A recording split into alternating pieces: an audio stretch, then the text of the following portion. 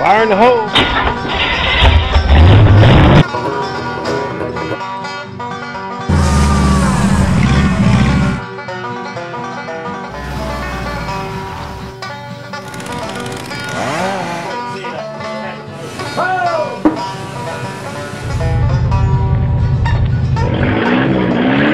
I do believe my pants are on fire. Third rattler uh,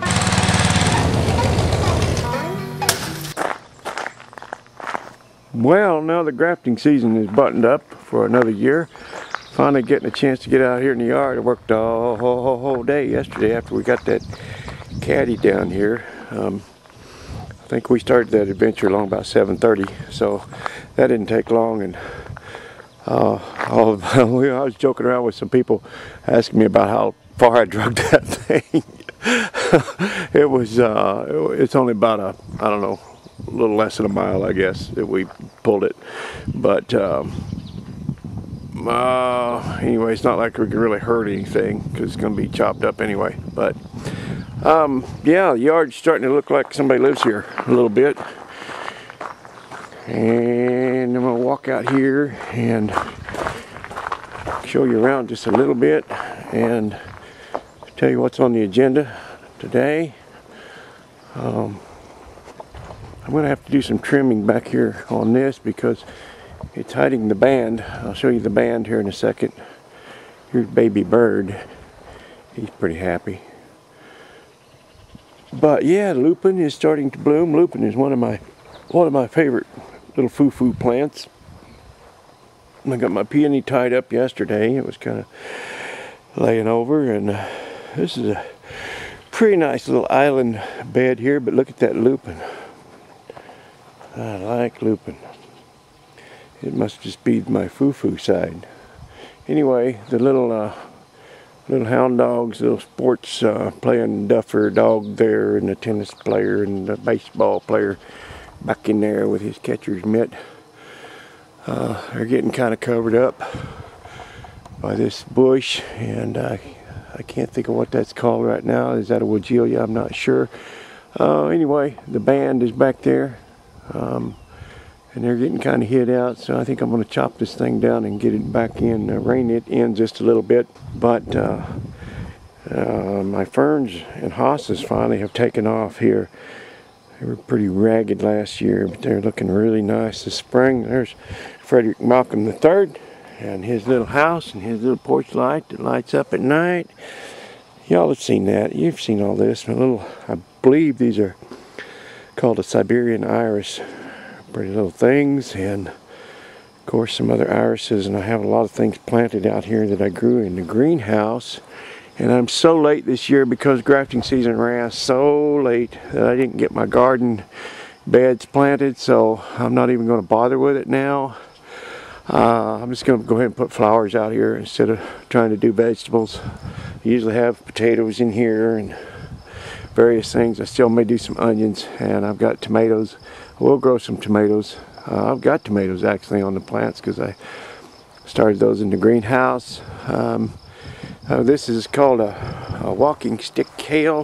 One of my friends from across the pond asked me about this a couple years ago or last year maybe if I'd ever grown any and this stuff gets so big that they actually can uh, let them harden off and make uh, walking sticks out of the stalk. So if I can get these to grow large enough, I'm going to send a couple of them to to my friend Stony and back in, I believe he's in Indiana. Not positive on that, but anyway, um, he's a wood carver. This is my gourd house and I have gourds planted in these planter boxes and they grow up over that, cover that, and then hang down inside. And so long neck dipper gourds get uh, really long in there. And yeah, I've got these boxes. I was out here last night with my little tiller and, and got these boxes kind of tilled up and raked down. And I'm going to just go ahead and plant my flowers in there.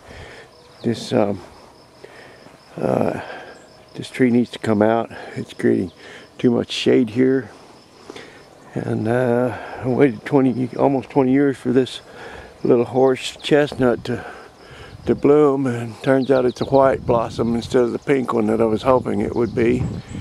Uh, so I don't know, I may take that out too Anyway, lots to do around here. Lots and lots. I'm transplanting a lot of things right now to get this bank filled up down there so it's not so ugly. Carrie's helping up there on the trail, cleaning up some limbs and brush that have fallen in the wintertime and um, I'm about to run up to Jack's and borrow his pressure washer and today is the day.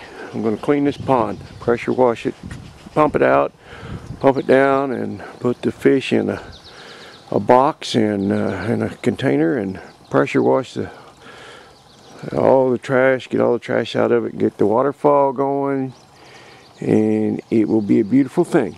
And there is the golden chain tree in all its glory. Some more foo-foo. This is, uh, I should dedicate this uh, I should dedicate this video to Shavaholic. I just won't I just won't let it go. oh, we're just having fun. We're just having fun. This is a climbing rose I planted last fall. It's doing really well. Can't wait to see it bloom. It's going to be yellow, I think. And I have another one over on this corner, or no, this is a clematis over here on this corner. And my little picket fence has got roses on it this year. I planted those last last spring and now they're taking off and they're going to bloom any day now. At my elevation things are quite a lot quite a bit later than they are down in down in Wenatchee downtown. Uh, this uh, clematis is just outstanding. It's uh, trained it up on that old wooden orchard ladder but you can't even see the ladder anymore. Got my my little pulleys and buckets hung over there and hopefully those flowers will fill out and watch out for the mouse trap Sparky.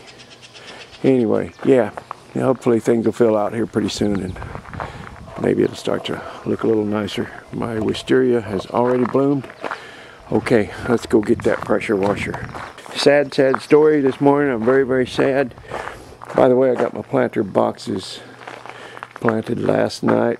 Worked till about dark out here, dark 30, I don't know. But draining my pressure washer last fall, somehow I failed to get all the water out of it. And uh, I don't know what happened. I've uh, never had any trouble before, but went to fire it up this spring and the housing is cracked. And it made me a very, very sad grafter. So um, I've got to look into that. I don't know if I can patch it. I doubt it with pressure on it. Uh, probably can't patch it. I don't know if I can get, if it's a part I can replace. It wasn't cheap. Uh, it was a pretty nice one. So I'm kind of mourning the loss of my pressure washer this morning. I got to go borrow one. So uh, get in, sit down, shut up, and hang on. Let's go. After